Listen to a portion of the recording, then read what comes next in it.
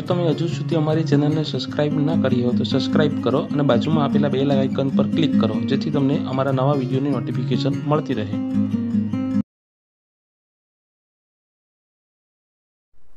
વિદ્યાર્થી મિત્રો, આજના વિડીયોમાં આપણે સમતલમાં થતી ગતિ માટે પદાર્થનું સ્થાન અને સ્થાનાંતર સદિશ વિશે જોશું. કે સ્થાન કોને કહેવાય? દ્વિપરિમાણમાં. એક પરિમાણમાં તો આગળના ચેપ્ટરમાં જોઈ ગયા. હવે દ્વિપરિમાણ એટલે શું? કે એક્સ યામ અને વાય બંને હશે. ધારો કે કોઈક બિંદુ છે પી કે જેના એક્સ યામ બે છે અને વાય યામ ત્રણ છે. તો આપણે આ બિંદુનું એક્સ વાય સમતલમાં નિરૂપણ કરવું હોય, તો આપણે કઈ રીતે કરીએ નિરૂપણ?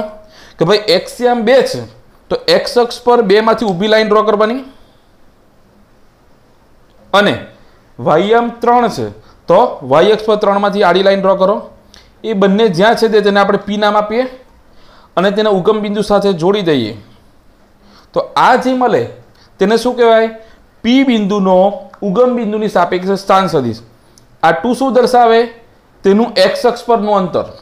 અને થ્રી શું દર્શાવે છે? તેનું વાય અક્ષ પરનું અંતર. તો એનો સ્થાન સદિશ આર સદિશ is equal to two comma three લખાય. અહીંયા મીટર હોય તો મીટર, સેન્ટીમીટર હોય તો સેન્ટીમીટર.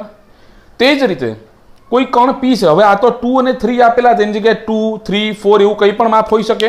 તો બીજો કોઈ કણ છે પી બરાબર?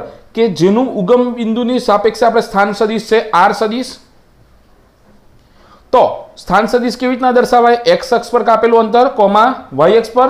તો ધારો કે એનું એક્સ અક્ષ પરનું અંતર એક્સ છે. ઉગમ બિંદુ ઓ અને વાય અક્ષ પરનું અંતર કેટલું છે? વાય તો આ જે પી બિંદુ ખરો તેનો ઉગમ બિંદુની સાપેક્ષે સ્થાન સદિશ કઈ રીતે લખી શકાય? પીનો ઉગમ બિંદુ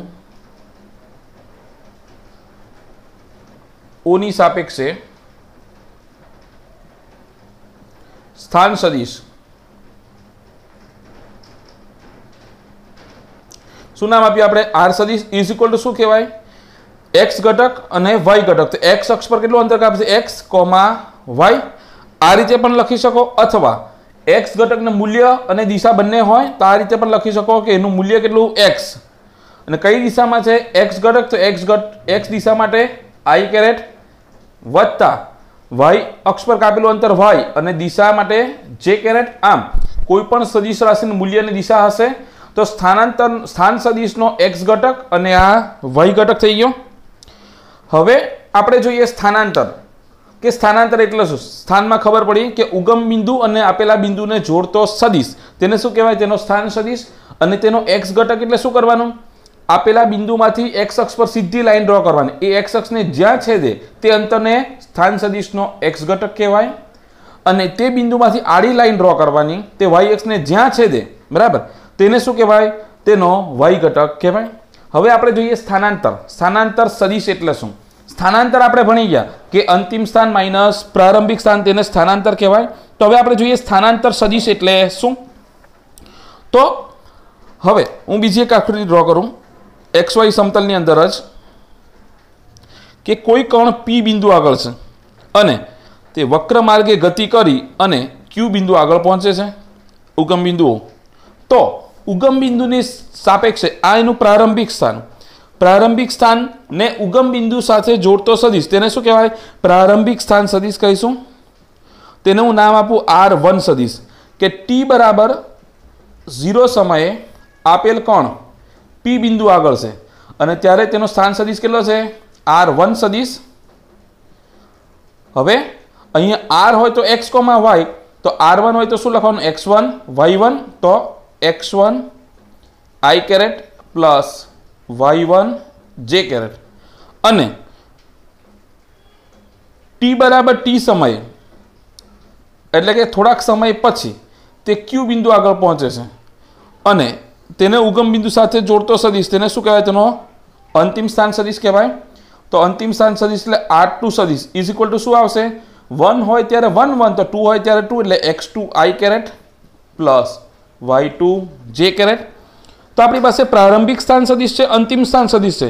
તો હવે આપણે આગળ જોઈ ગયા તેમ ત્રીજા ચેપ્ટરમાં કે સ્થાનાંતર એટલે શું? અંતિમ સ્થાન માઇનસ પ્રારંભિક સ્થાન.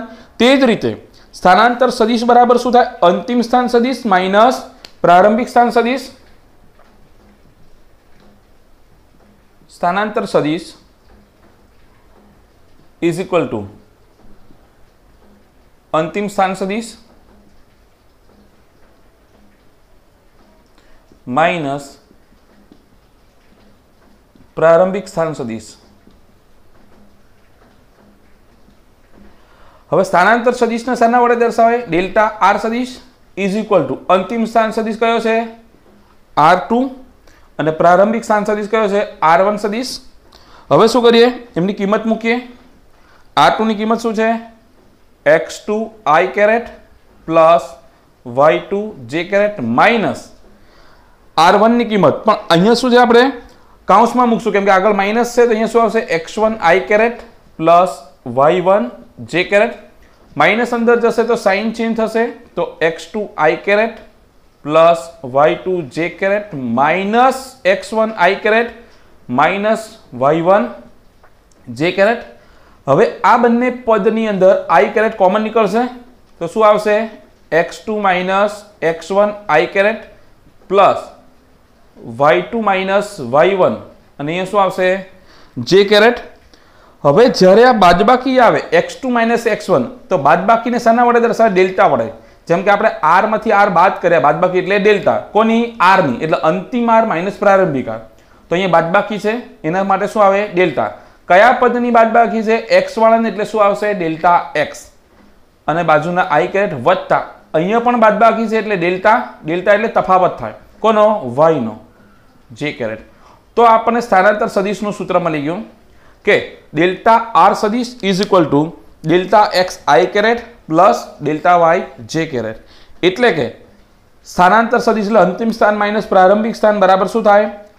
એક્સયામની બાદબાકી. એટલે કે અંતિમ સ્થાનનો એક્સયામ માઇનસ પ્રારંભિક સ્થાનનો એક્સયામ વત્તા વાયયામની બાદબાકી. અંતિમ સ્થાનનો વાયયામ માઇનસ પ્રારંભિક સ્થાનનો વાયયામ. તો આ થઈ ગયો આપણો સ્થાન સદિશ અને સ્થાનાંતર સદીશ. સ્થાન સદિશ એટલે ઉગમ બિંદુ અને આપેલા બિંદુને જોડતો સદિશ અને સ્થાનાંતર સદિશ એટલે અંતિમ સ્થાન સદીશ માઇનસ પ્રારંભિક સ્થાન. હવે આ સ્થાન સદિશની દિશા કઈ બાજુ હશે? હવે એનું સ્થાનાંતર આરથી આર ટુ તરફ થાય. તો આર ટુ માઇનસ આર તો એનું સ્થાનાંતર પહેલાં અહીંયા જતો હતો. એની જગ્યાએ આ બાજુ ગયો. એટલે આ રીતના જોડી દેવાનું. તો આ શું મળે? ડેલ્ટા આર સદિશ. કઈ બાજુ?